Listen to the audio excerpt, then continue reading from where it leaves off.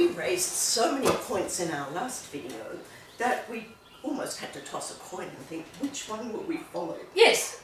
Um, So we've decided uh, Yes. to discuss uh, from the uh, position of um, examiner and a Yes. Stedford judge, competition Yes. judge, and someone who's done a lot of exams and Eisteddfods and compositions, competition. So uh, the uh, the judge and the victim. Yeah, this book here, Confident Music Performance, I actually wrote after a stint examining in country towns, coastal Queensland. And it's very prescient. You have to get yourself to the airport, get there, you're in a hire car trying to read. In those days, it was tiny little photocopied maps. Now we do have satellite now. But it used to be so stressful getting there on time and finding the venue, and then you've got to run absolutely on time. And if somebody has a, an asthma attack or something, um, that you know the meltdown that they they just can't go on, you're losing time, you're losing time. Then we might have the person who thinks they can have second try or third try at scales, and you try that in a, a chromatic scale, and you're losing already two minutes. And you'll notice the schedule says eight fifty nine until nine oh five or something. Well, that's a bit short. Uh, they'd have to play fast until nine fifteen. So you have um, an excerpt from your books Yes. regarding um, competitions and what you tell Yes. your students yes. uh, when they Sure. because uh, and it took me a long time as someone who who's done um, a lot of competitions and uh, and won Yes. Um, and but not necessarily but not necessarily and, and also have, have not won and uh, yes. um, is that uh, an exam and a competition Yes. is a shot in time. It's just a it's just a single point Mm. in time, and uh, it's not that you're better than the next person. It's Yes. just that in that particular point in time, you played like that, and in that particular point in time, this adjudicator or um, uh, um, uh, judge um, or uh, examiner thought about what your playing was Yes. that point in time. Yes. It is true, and uh, going to the competitions, because a lot of my students are about to have their chance at Eisteddfods, and I do try to take the pressure off by saying, I'm proud of you, whatever happens, if you've gone in, you've practiced, prepared, presented, and you've done your best, I'm proud of you. If you get a place, that's the icing on the cake.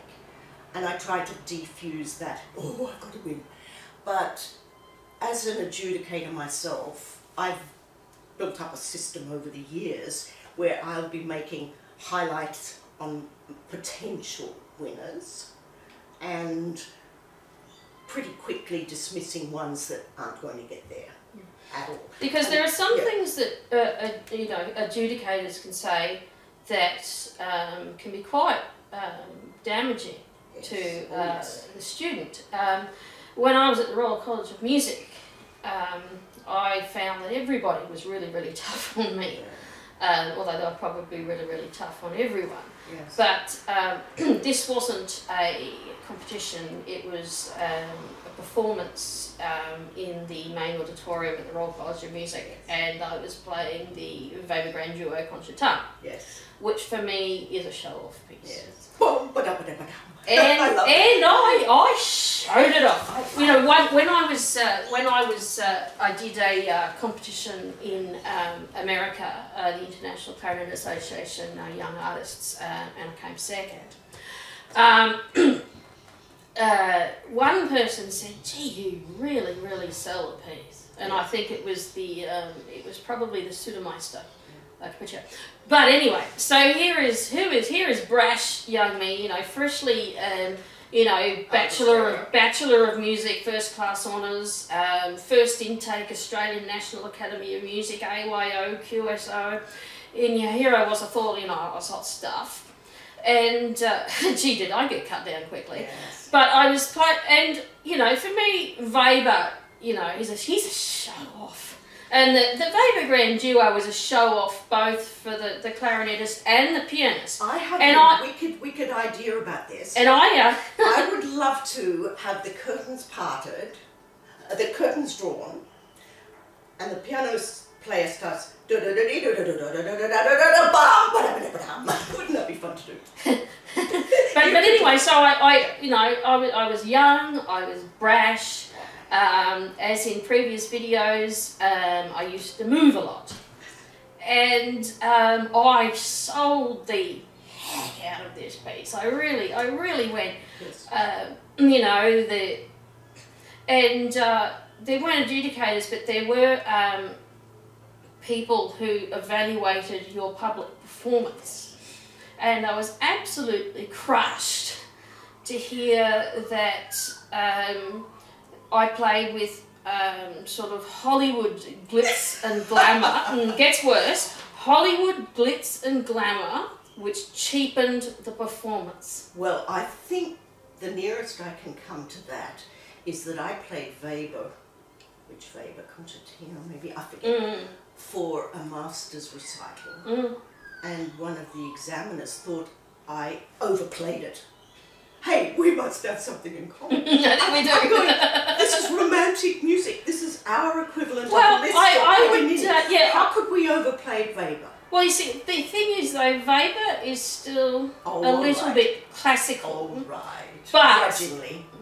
But um, um, and actually, if you played it on a clarinet that was around at the time, you would realise how hard it is because I've just I'm by I, I've got your I've got your eighteen forty clarinet Yes. and uh, um, while I can play uh, Lefebvre, Yes. Uh, I wouldn't want to do it, you're right. no, um, even though it was actually made after. Yes. And actually, I heard um, I heard a clarinetist uh, do the Weber two on a classical clarinet uh, with QSO. I don't think he had the G sharp key either, because your your your your clarinet has ten keys, whereas the other the like the the post Mozart Sure. clarinet probably only had about five. Yes. Uh, one, two. I don't think it had G sharp. Probably didn't have the, the B No. natural either. It just had the um, the E flat and the B and B and the C. Some of those comments and gradings can be really tough. As an adjudicator, the ones that I think, no, it's not cutting it, I will put, say, around top 70s, early 80s, and I'll put them to one side. The ones that are possibles, I'll keep to another side with a highlight against them. But then you get to the second last one, and you've got six could possibly win. And you're praying for somebody to stand up. This is this is what this is what we want. Yes. The tips The is tips. as as an adjudicator and as an examiner. What are you looking forward? What are you You're looking, for? musicianship, and a quick fix way, and it's not hard, is to exaggerate the dynamics. I hate it when pieces start piano. All my students get that crossed out or covered up, and mezzo forte also, because your first impression has got to be, listen to me. Da! I am the greatest. And then exaggerate. If you've got a higher piano, then your fortissimo has to be very fortissimo, and so on. So But not too far. No, too not so much you. Because I I was uh, at a master class Yeah. in uh, Boston, Massachusetts, and uh, Philippe Pear was uh, was on the um, panel of the, with the master class, and uh, I was playing the the Reger First Sonata. Yeah. I, I love Reger. Uh, I've recorded all three of his um, sonatas, and I've also played his quintet. she's a busy lady. Oh yes, yes. Um, available on my channel, of course. um, but um, when you're but, on Kathy's channel, hop over to mine. but um, what uh, what Philippe said was that no, don't because Reger goes from triple P to triple F. Yeah. But he said with the triple F, don't play the triple F. Play it as the memory of the triple F. That's interesting. Yes. Interesting. But-.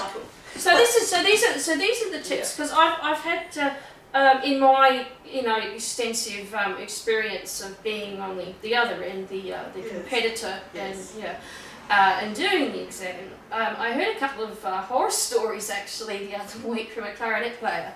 Um, there was uh, two, two examples. One was the, a cellist um, in a string competition. And um, this, this particular cellist was probably playing a grade three piece. Yes. But they played it flawlessly, they played it effortlessly, they played it musically. It was absolutely beautiful. The problem was that they didn't win because there were a number of um, other students who taught, were taught the Suzuki method and absolutely hacked at the strings. But Yes. but I and then there was a, a, another example where um, uh, uh, this this clarinetist, I think, fourteen year old clarinetist, again played absolutely beautifully, expressively, musically, and um, and the uh, um, and unfortunately lost to you know flashy Lots fingers and, and and quit. Oh, that's sad. But the trouble is, it's only one competition, one exam, One point in time. one point in time.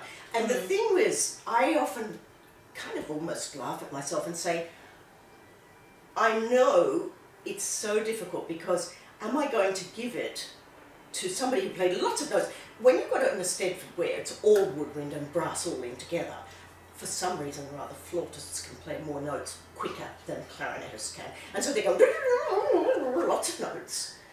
And then a clarinetist might come in and play a challenging piece, but it's not as flashy. But often I can remember giving a first to somebody who played a simple piece with heart. And what was interesting was uh, when uh, I uh, re-entered the Clarinet Society competition, sort of in my late twenties, having Yes. won it when I was twenty-three, um, and um, they changed the rules the year after. But in this particular competition, um, I played clarinet and E flat, and um, I played um, some Donizetti Florid. Cavatina, or was it Rossini or something? Um, I played them. I played them. I played them quite well. Um, and then I played um, Carnival of Venice on E flat clarinet on E flat. Okay. on E flat. That would be. And um, and I totally agree. Uh, I totally agree with the exam with the um, the judge. Uh, because she said, is it better for someone to play a less hard piece perfectly, or someone that has plays an incredibly hard piece and um, Although- doesn't, doesn't it makes a lot of mistakes? Can I can I put in here? In both these books, Mm. um, I've written. Please don't try to be perfect. That is the biggest single cause of nerves. Because nobody can be perfect this side of the grave. Aim for musical, to use your God-given gifts to the best of your abilities, to to express what the composer wanted, all those sort of things. And what was the uh, the the book the the something guide to tennis or something? Oh yes, um, the inner game of tennis. Inner game of tennis, what and I, I actually read the inner game of music. Yes. And what really helps me, not just in music, Yes. but uh, also in my driving exam, actually, is that uh, you just got to allow yourself to fail. Yes, and not be so tough on ourselves. Because, like, be so I could spend. I could spend forty-five minutes at a time on those four bars. Yes. you know, and and and it won't happen in the um, and you know, I won't get it right in the performance, and Yes. and actually, I I've allowed myself to fail. I, I I don't want to be a professional musician. I you know, and what's interesting is I uh, too, we don't have all that much repertoire to keep broad-based minds busy. well, I was I was playing um, uh. Um, and also, there are better things to do than practicing six hours a day, especially when you live in sunny Queensland. and and you've got and you've got Facebook and and so is allowing yourself to fail. So um, I recently played uh, with Queensland Baroque uh, on recorder uh, Bach Brandenburg Four. Um, and this is the original version in uh, G major, which um, has to be the scariest start for a second recorder player Oh, in the well, actually, no, it's the second scariest. Uh, the uh, the Telemann um, the, the Telemann double concerto for recorder and um, bassoon is scarier because you start on the top F, um, which is uh, about the second top note. But Yeah. the, the Bach Brandenburg um, starts with the second recorder playing, and it's above the staff, B, D, G, in a in an arpeggio going up and down, and it's and it goes. that has to be the scariest start ever. And I, I don't, William Tell, but but but articulation's a lot easier on, on a recorder. But having to hit because there's a helicopter going. See, you didn't notice that, did you? No, because I was so focused. So, but anyway, having to hit the top. So, um, you, so you're starting here, dum bum beep. So you're going from a D to a top G, and at that speed. But um, there were um, there was this really really hard bit, and you know I could have um, and I and I practiced it and I practiced it and I practiced it, and I realised I probably wasn't going to get into the performance. But and the interesting thing when you um, when you record yourself, you know, and you know that bit comes up, and you, you it just, and this is why uh, in my in my driving exam, Okay. uh, I think the first thing I had to do was reverse park. I can't reverse park, and so I once I fa- once I didn't do that, I continued on with the rest of the exam. Relaxed it, Whatever. relaxed it, and I passed, and I and I passed But because you he gave said. yourself permission to fail. That's the Mm, difference. that's the And the thing, I talk in both these books um, a lot. They're both half price on my website. I'm trying to clear stock because I've got more reasons. um, the, the thing is to give yourself permission to be yourself as you are in that point in time and also if necessary to fail but i have this concept of right and left brain that i talk a lot in my workshops and my books and it's sometimes i'll say to students before an exam or a competition turn off the turn off the too hard button. It's a mythical button. Bit like you know the indian dot. Turn off your too hard button. And that immediately frees them to be what they are capable of being. And but please do not, do not watch Hollywood movies about musicians. there's Oh, um, there's whole a uh, there's a recent yes there, there's a there's a recent movie which um, is not PG. It's a, it's a horror movie. It's pretty good. It's called The Perfection. Oh, And if you make one mistake, oh, I don't I can't I can't tell you on a PG program. But yeah, so please you know do not because um, uh, you know having worked with um, professional musicians and um, and they they um, they tend not to record themselves or have any recordings of themselves because they don't want to be seen as Sure. making And I say to people, don't watch a recording of, in my case, presentations or performances too soon after because you're still very sensitized. Actually, I find that's the best thing. Ah, It, it, you know, it's because you know I record yes. um, all of my concerts, um, and I listen to the audio first. And actually, I think, well, that actually wasn't so bad. oh, I think, see, because you can you can sort of blow up in your mind. It's like, oh, that bit that I practiced ten billion gazillion times, and no, and it didn't work. Oh. But when you think about it, no, no, no, no, no, no, you know, the, you know, the, the mistake you made, you know, here, Yes. but this and this was spectacular. So But what's the audience going to say. remember? if you're in a performance, you go away remembering, oh my gosh, I made a mistake there, and you remember that, and yet you played 9,722 notes, which were fantastic, and you remember the four that weren't. Yeah. And the other thing is, I say to people, you're in an exam, it used to be you'd see the pen scratching, now it's the computer with going on. And so you, you make a mistake and you think, oh, she's writing, oh, oh mistake in bar 17. And it might be, oh, what beautiful expressive tone, what a wonderful shaping of melodic lines, smooth legato, beautiful sound. Why do we think the worst of ourselves? It, it's interesting because I um, uh, did um, a um, licentiate diploma with um, Trinity College London, and uh, got um, at that stage was the highest ever mark yes. of ninety six um, percent. And I probably. I probably I probably would have got ninety eight or ninety nine percent, Yes. but um, the uh, particular examiner thought didn't like Mitchell Lee's shirt. Thought Mitchell looked a bit shabby. I'd actually lost mark because of Mitchell's shirt. But um, Better not leave that in. No, I think I will. I think I will. I think I will because I'm not naming the examiner. But that that's actually what was written.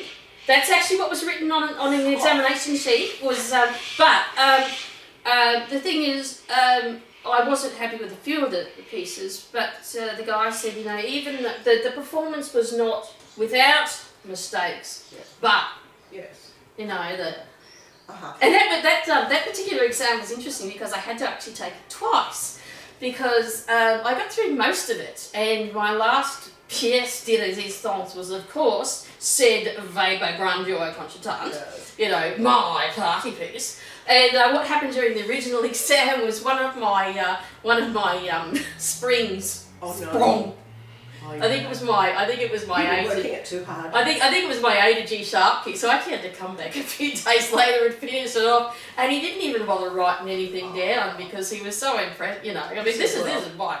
He, he, he sat he sat back like this, had a ball. You know? and I go, although uh, the next year I was surpassed by one of my mother-in-law students who got a 97. Obvious, but uh, obviously he didn't have a couple of us that wore a shabby shirt. Mitchell, I love you. um, I'm going to face up here. We have this filthy hot weather in November or whatever. Oh, any any time uh, that's not in um, June, July, and August is basically hot. Oh no, no, actually, it's very equable here in Brisbane. no, we it's just not. don't want to be performing November, December, January. Oh, Possibly believe me, even March. This was, um, I think now I come to remember a Trinity Letters, and I was playing the Mozart, the Mozart, Mm. and that F that you finish on was so out of tune. And so I thought I would do a uh, as if to say, I'm trying, I'm trying to get it in tune. And the examiner didn't have a sense of humour. He didn't read my body language, he didn't understand. Oh, I just couldn't believe that. But I really want to stress one thing though. If you're doing exams, now I'm behind the desk, could you please make sure you know your scales? Because there is nothing worse to put the examiner's teeth on edge than to think you can stand on one foot and have another try at a chromatic scale and just look at it this way. There's a lot of notes in a chromatic scale. If you want another try or two, then that examiner is running late and is likely to be looking at their watch and going, I've got a plane to catch at 5.27 and that will not endear yourself. If you want an examiner to think you're the best, you might think a few seconds before you start, think the key signature, the leading note, etc. Take a moment and I tell my students, if you get F sharp minor melodic, which you didn't want to play, or G sharp minor melodic, um, take a moment to think, play twice as loud equals conviction, and even twice as slow equals think time, but also the adrenaline's pumping, we're probably talk, thinking faster than we need.